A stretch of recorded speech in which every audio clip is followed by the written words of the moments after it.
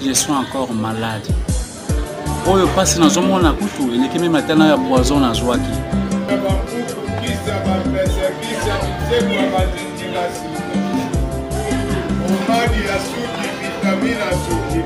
Thank you.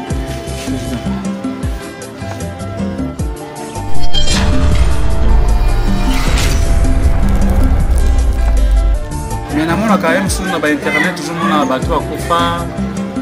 tomona foto ya papa mayindu akufaki le 30 juin to tomona baya dadi bandeko ebele La manaja waka vous êtes resté inoubliable dans nos mémoires bango bakufa oyo me tokanisa bango ti lelo bongo sikoyo moto oyo nano akufi te moto oyo akufi nano te parce que centre ya docteur mogijo barepeshe ngai na 3 pourcent et demi ya makila 3 pourcent et demi j'étais déjà mort kasi nzambe asali grâce nayebi te mpo na nini grâce yango na bolamu nini oyo alingi ke nazala na bomoi kino ntango ya lelo ma bellevie kandi s'il vous plaît nayebi ke mama olive lembe kabila ayokaka yo e mama olive ngai mwana na yo cheko na 2019 opartageaki na ngai bonne fête esungaki ngai mpe ntango papa na ngai akufaki kaka na 2019 wana na liwa mpe ya bulu mama je suis à l'état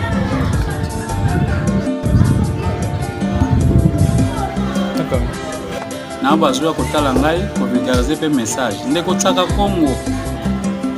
osalaka bemission na banani nsima ya interet kuna ezalaka nini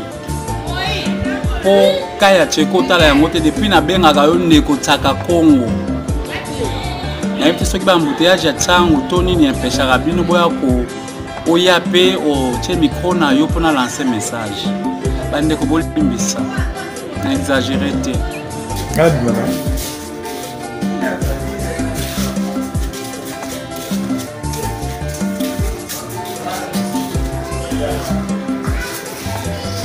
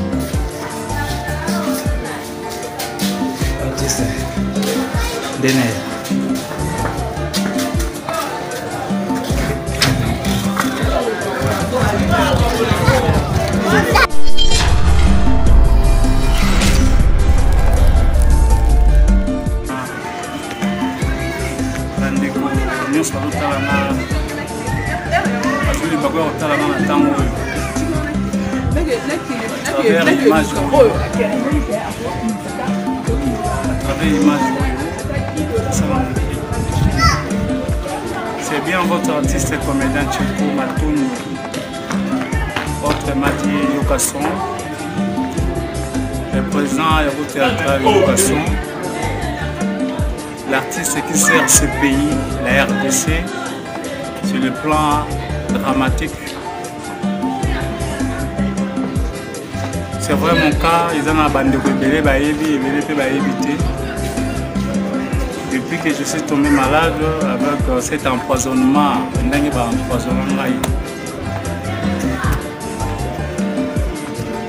mpasi ezali omoni hôpital nazali naza na route mokali chez Docteur Mogijo. Docteur Mogijo boyebi le cosmétologue oyo atraita mama shako atraitaka esuki atraitaka baposo ya bato oyo oh, centre na ye naza awa depuis mbala biso nasalaki deux semaines docteur Mogijo se bati azwaki kisi ya poison pendant une semaine il se calmaki toza na observation mpo na traitement ya poison sikoyo naza na cas avant poison to découvrir poison ecreaka nga déjà ba batumeur na bapota na kati ya, ya motoko na debut ya anus du mal mpona kosala seul douleur na maleli oyo otana ya kati ezosenga so traitement ya bokoko te mais komi sikoyo ifo baantibiotique ifo examen les examens ifo nasalisa coloscopie motopo mobimba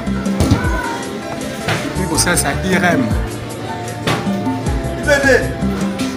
irm wana po batala bakomo ecoko to esika nini lisusu ebebisaki vraiment je lance un sos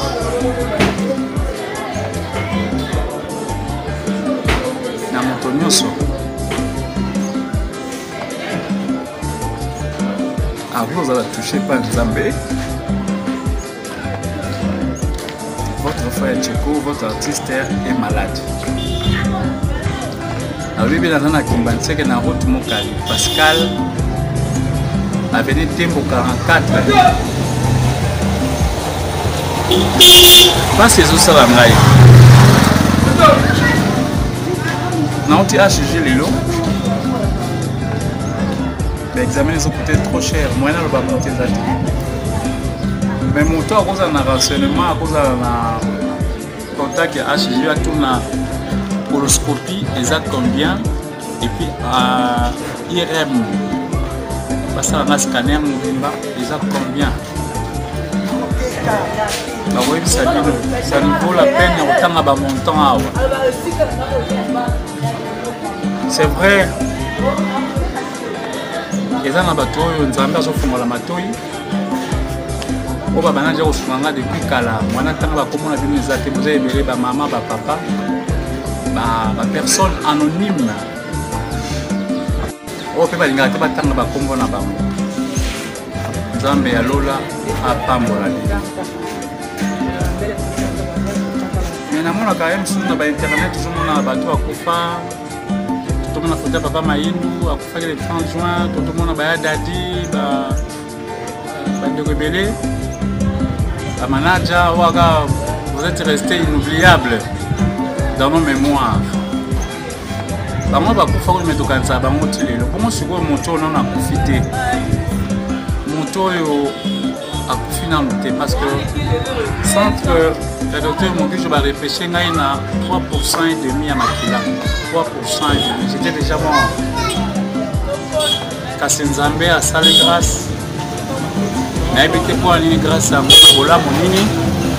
oyo alingi ke nazala na bomoi kino ntango ya lelo course je dis merci soki nauti hg lelo mais mpo na badeplacement euh, je dis merci ndeko cameraman esalama moke na elongi na ndako ya message ezala bien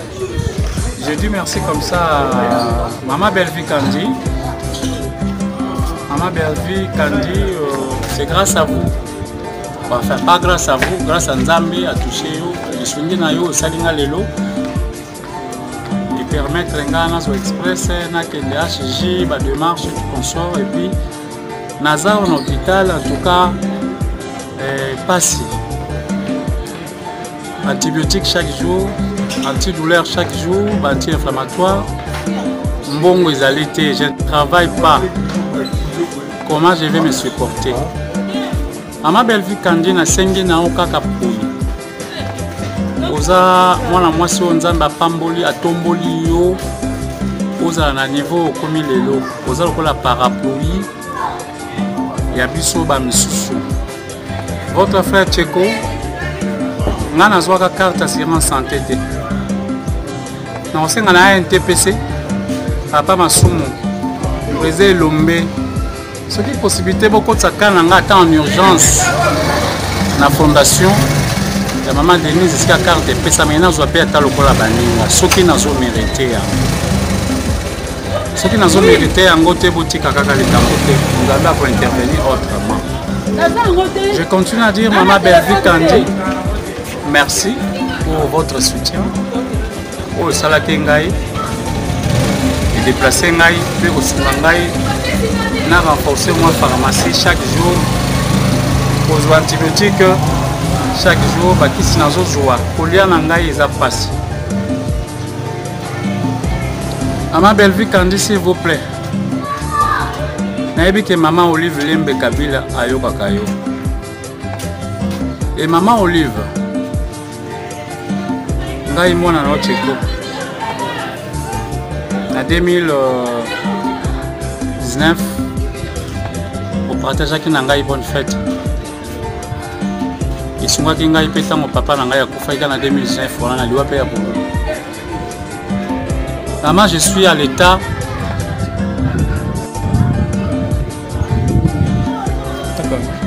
Vraiment, nazobelela mama eza na ka moko oyo parmi baka osungaka eza na ka moko oyo nzambe peut-être akoki kointerpele yo ya koyebisa yo ke eza na mwana na yo moko aza kuna azosouffrir yango na lance appel mama olive lembe kabila mama bellevue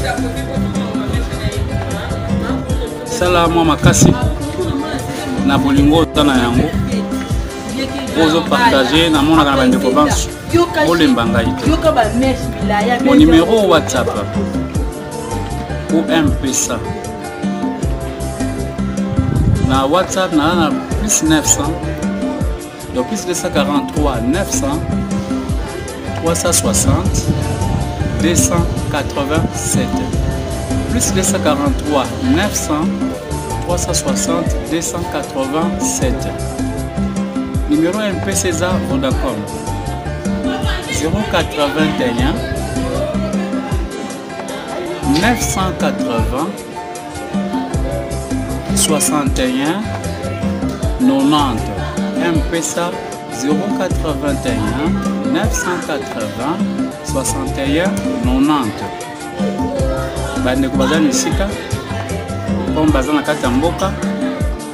naza na route mokali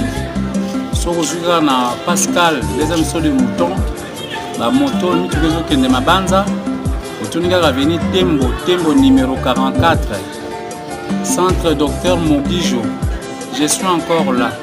meme la presse merci na bazwi ya kotala ngai kovigarze mpe message ndeko tsaka kongo osalaka baemission na banani nsima ya intere kuna ezalaka nini mpo ka ya cheko otala yango te depuis nabengaka yo ndeko tsaka kongo nayebi te soki baembouteillage ya ntango to nini empeshaka bino boya ko oya mpe otye mikro na yo mpo na lancer message bandeko bolimbisa na exagere te je suis encore malade oyo mpasi nazomona kutu eleki meme ata nayo ya poison nazwaki merci mama jeanne matuzolele na suisse mama jeanne matuzolele merci yannick dimbo aux états-unis yannick dimbo merci à toi mon frère merci maître alba vokayo alba vokayo ya groupe merci mpona appel na yo lisungi na yo te ebakisami nzambe apambola bino